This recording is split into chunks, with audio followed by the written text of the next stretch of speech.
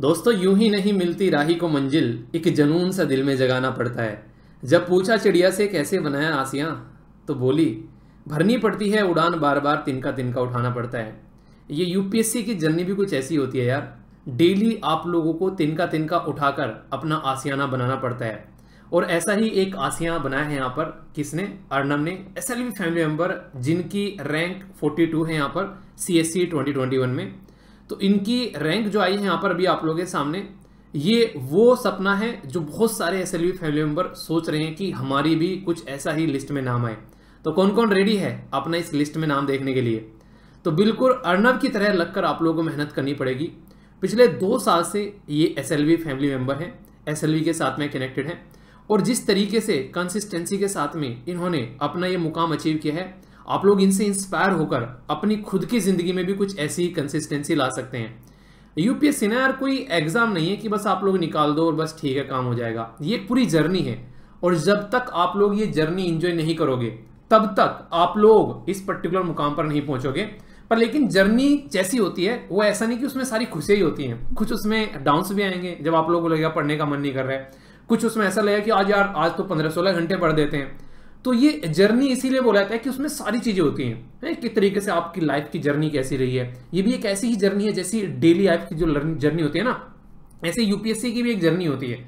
तो अगर आप लोग मंजिल को इंजॉय करना चाहते हो तो जर्नी को भी आप लोग को इंजॉय करना ही करना पड़ेगा। जैसे अभी अगर बात की जाए अर्णव के बारे में तो सोचो अब इनके फैमिली मेंबर जो है, कितने शानदार तरीके से चीज़ों को सेलिब्रेट कर रहे होंगे, और ये कितना खुश होंगे। आप लोग सोच रहे हो जब इनसे मैंने बातें की तो मतलब एक खुशी का ठिकाना नहीं था, एक ऐसी खुशी थी जो बातों से झलक रही थी। तो ये रियलिटी है यार, जब आप लोग का सिलेक्शन होगा ना, और आप लोग मेल करोगे या फिर आप लोग बातें करोगे तो जो एक्साइटमेंट देखने को मिलता है ना, वो अपनी ही आप में उसका कोई मोल भाव नहीं होता। है ऐसा बोल सकते हो कि उसके कंपेयर में कोई चीज़ ही नहीं होती, अगर रियलिटी में बोला जाए। तो इतनी खुशी झलकती है इंसान की एक तरीके से, एक ज़िंदगी में से, और वो एक तरीके से हर एक उस चीज़ को थैंक्स बोल रहा होता है कि हाँ यार, इन चीज़ों की वजह से मैं यहाँ पर पहुँच गया। पर लेकिन रियलिटी में होती है, वो चीज़ एक छोटा सा रोल प्ले कर रही होती है एक्चुअल में उस इंसान की पूरी मेहनत होती है। जैसे कि अगर बात की जाए, जब आप लोगों का सिलेक्शन होता है तो आप लोग बोलते हैं, मेरे पेरेंट्स ने बहुत बड़ा रोल प्ले किया टीचर्स ने। पर लेकिन रियलिटी में उन्होंने बस आप लोगों को कंसिस्टेंट रखने में थोड़ा सा पुश किया है। रियलिटी में पूरी मेहनत जो है, वो एक्चुअल में आपने की है। ठीक है? तो ये होती है रियलिटी में और वो क्या होता है? एक तरीका सोल्जर होता है, सिपाही होता है। जब इस तरीके से मेहनत करते हो ना आप लोग, और आप लोगों के अंदर एक सेटिस्फेक्शन होता है कि हाँ यार, मज़ा आ गया रिज़ल्ट देखने के बाद में तो वो होता है फाइनल वरना यार देखो, बहुत सारे बच्चे ऐसे होते हैं जिनका सिलेक्शन नहीं होता है। इसका मतलब ये नहीं कि उन्होंने मेहनत नहीं की है। पर लेकिन उस लिस्ट में नाम आना, वो रियलिटी में एक तरीके से बोल सकते हैं कि सपने का सच हो जाने वाली बात है। तो आप में से कौन कौन है जो इस लिस्ट में नाम लेकर आने वाला है? जल्दी बताओ। किस किस साल की तैयारी कर रहे हो? ये ज़रूर बताना। और ये जो लिस्ट है अभी यहाँ पर रिज़र्व लिस्ट है यहाँ पर रिज़र्व लिस्ट में इनका नाम आया। रिज़ल्ट जो डिक्लेयर किया था, उसकी रिज़र्व लिस्ट यूपीएससी के द्वारा हर बार डिक्लेयर की जाती है। अब की बार फिर यहाँ पर जो लगभग 64 के करीब मेंबर थे यहाँ पर तो 63 का रिज़ल्ट यहाँ पर आप लोगों के सामने है। उसमें से फोर्टी सेकेंड रैंक जो है यहाँ पर, वो आप लोगों को अर्नव की देखने को मिलेगी। तो कॉन्ग्रेचुलेशन डियर पूरी एसएलवी परिवार की साइड से। और आप लोग भी यहाँ पर कमेंट बॉक्स में लिखना अर्नव और फिर कॉन्ग्रेचुलेशन क्योंकि एक दिन आप लोगों का भी नाम होगा और आप लोगों का भी मेल होगा, आप लोगों को भी पूरा एस एल परिवार ऐसे ही कॉन्ग्रेचुलेट कर रहा होगा। तो सोच कर तो देखो यार, कितना मज़ा आता है। खुद सोचो एक मिनट के लिए, अंदर से फीलिंग कितनी शानदार आती है। जब मैंने मेल देखा ना, मैं रियलिटी में काफ़ी अच्छा लगा मुझे कि मैंने कहा, यार वाह यार, एक तरीके से इतने लंबे समय से जो मेहनत की गई, उसका रिज़ल्ट निकल कर आ रहा है सामने। तो एक टीचर को भी उतनी खुशी मिलती है, जितनी एक उस इंसान को मिलती है जिसका सिलेक्शन होता है। क्योंकि वो भी ये सोचता है कि कहीं ना कहीं मैं भी एक छोटा सा एक पार्ट था इस पर्टिकुलर जर्नी के अंदर में। सेम फीलिंग पेरेंट्स को देखने को मिलती है कि हाँ यार, उन्होंने भी एक रोल प्ले किया जर्नी में।